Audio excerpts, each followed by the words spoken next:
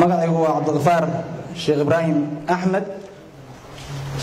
Sida lagu dhawaaqay waxaan ka mid ahay musharaxiinta u taagan xilka guddoomiyaha degmada galdogob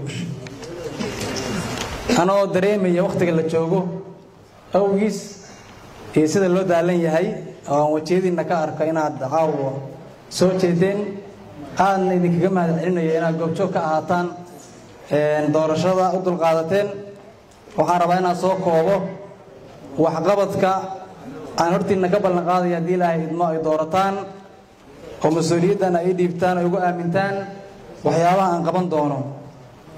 Kow waxaa ka ah maamul wanaag. Maamul wanaag haddaan la helin wax kasta waa hallaabayaan ama ma soconayaan. Waxaana ka mid ah cadaaladda iyo sinaanta waxaa ka mid ah ka dheeraanta musuq maasuqa waxaa ka mid ah sare uqaadidda xirfadda shaqaalaha dowladda hoose waxaa ka mid ah wanaajinta darisaynta bulshada degmada galdogob waa qodobka koowaad. Qodobka labaad waxaa weeye amniga. Sidaan wada ogsoonnahay nolosha bini aadanka iyo horumarkiisu waxay ku xihan tahay xasillooni iyo amni. Sidaas awgeed anoo aaminsan jagada guddoomiyaha degmada galdogob inay tahay mas'uuliyaddii ugu sarraysay ee degmada galdogob ee lagu aaminay dhammaan qaybaha kala duwan ee nolosha bulshada halkan ku nool. Waxaa kow ka ah ama laba ka ah hagaajinta amniga. Si aan u horumarno waxaa laga maarmaana inaan helna amni.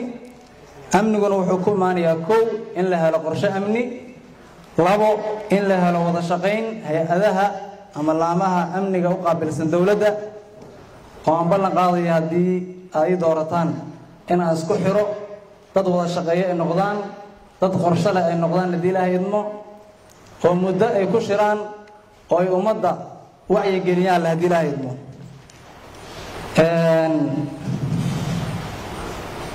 Waxaa og tihiin degmadan aan ku noolnahay degmada galdogob oo ku taalla meel xaduud ah waxyaabaha ugu badan oo amniga khalkhal geliya waxaa ka mid ah khamriga oo waayihii dambe aada soo batay. Haddii ilaahay idmo oo ay doorataan muddo kooban ayaan ka horgeli doonaa.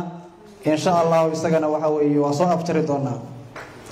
Waxaa ka mid ah waxyaabaha amniga khalkhalka u keena waxaa ka mid ah khilaafaadka bulshada dhexdeeda ah ama khilaafaadka dhex mara beelaha arrintaas si loo xalliyana waxaan si dhow ula shaqayn doonaa nabadoonnada iyo isimada had iyo gooraa u howlan arrintaas aad iyo aad ayaan ula shaqayn doonaa.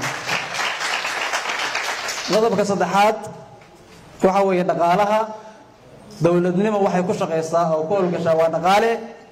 Si loo helo dowlad shaqaysa oo bulshada u adeegta waxaan samayn doonaa qorshe dhaqaale oo dhammaystiran haddii ilaahay idmo si qorshe dhaqaale oo dhammaystiran loo helo oo bulshadu canshuurta u bixiso waxaan samayn doonaa wacyigelin joogto ah iyo baraarujin.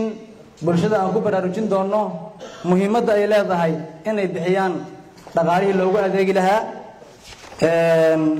Qodobka afaraad oo aadkii aadka u muhiimka waxaa weeye degmadan aan ku noolnahay istraatiijiga ah. Waxaa loo asteeyey ama dowladda puntland u aqoonsatay in laga furo kastamka weyn ee tuurdibi haddii ilaahay idmo kastamkaas oo in muddo ah magacownaa laakiin aan hirgelin waxaan rajaynayaa maadaama degaddii garacad ee kastamkan uu ku xirmi lahaa inta ugu badan ay gebageba tahay inaan sida ugu dhaqsiyaha badan aan kastamkaas ka shaqayno annagoo wada jirna kaashanayna ganacsatadeenna iyo aqoon-yahankeenna haddii ilaahay idmo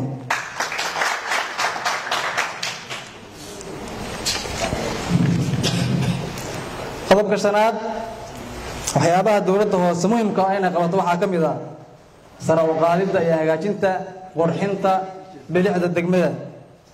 Waxaan xoogga saari doonaa ka shaqaynta bilicda iyo nadaafadda guud ee degmada.